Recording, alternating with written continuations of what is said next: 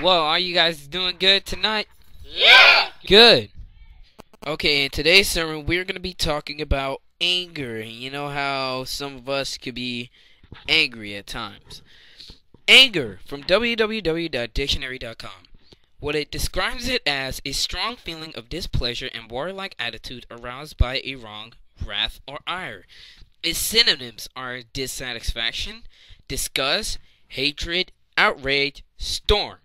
Its antonyms are agreeability, joy, happy, peace, calm, and content. Now there's there's only three types of anger. The first type, they see coming but they ignore it. They are angry, but they do not let anger sink in. They push it off and they avoid it as if it had never happened. Now this is for the type of people like they see it coming but they don't want to deal with it. You know, it's not their own problem. You know, they just don't want to be stressed out by what's coming at them. They number 2 is they see it coming and then they do get angry. Anger is allowed to be seeped in into the heart. This causes destruction. Sometimes it's like long-term anger, like for someone, like a teen, you know. Um, father has abused her for for a number uh, X years, and then her father dies. Still, that girl could be angry at her father, even though he was dead for about what, 10 years? And you're still angry about it.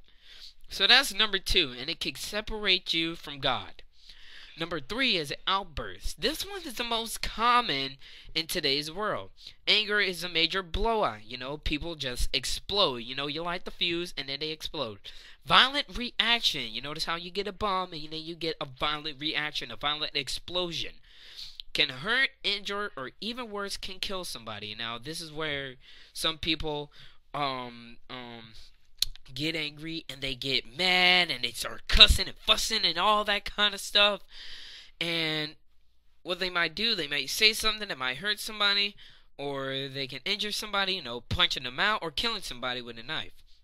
Now, you're probably like, now you're probably like, how can I control my anger? Well, good, good thing that you asked.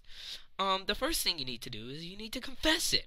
You know, you got to tell somebody. You know, call somebody up. Call your friend in class. You know, tell somebody that you're angry. At least you're getting it off your uh, off you. You know, you know what I mean.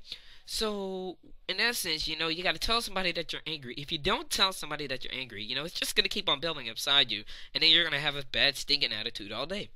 Number two, you got to identify where it's coming from. What provokes you the most? What provokes you? Is it sex before marriage? Is it lying? Is it cheating?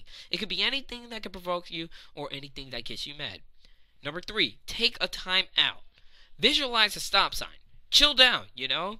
You gotta chill, you gotta think, you you you just gotta vent out. You know, if you have to uh, punch a pillow or something like that, you just get your anger out, or punch a punching bag or something like that. Do it.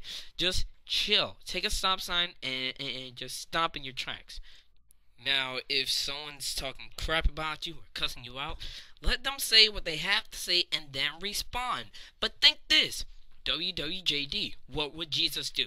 Are you going to respond violently, cussing them back out, and not looking like an example of God's child?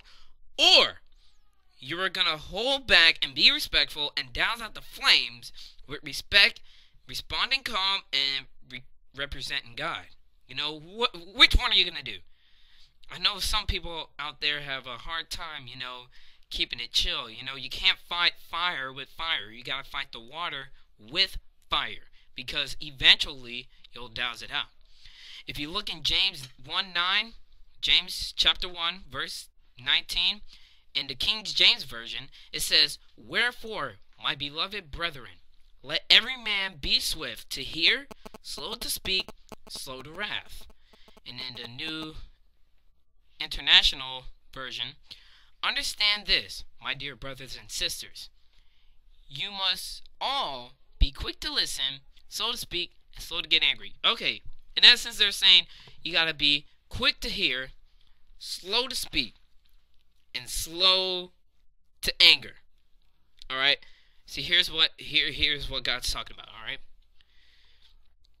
Say someone's coming back, come, coming back to you, and you know they cuss you out, and you know everything like that, or in better essence, someone's talking gossip, right? You're quick to hear. You can't be slow to hear because if you're slow to hear, you might miss something. But you gotta be quick to hear. You have to be slow to speak. You gotta wait until they finish what they're saying. Slow to anger. Now, if it gets you angry quick, then it gets you angry quick. There is no doubt about that because anything that is not right could get us angry.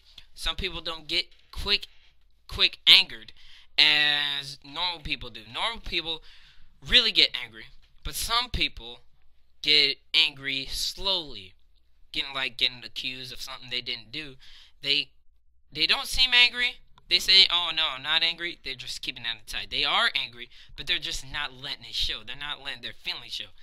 Well, this is our sermon about anger, and you hope you have a blessed day.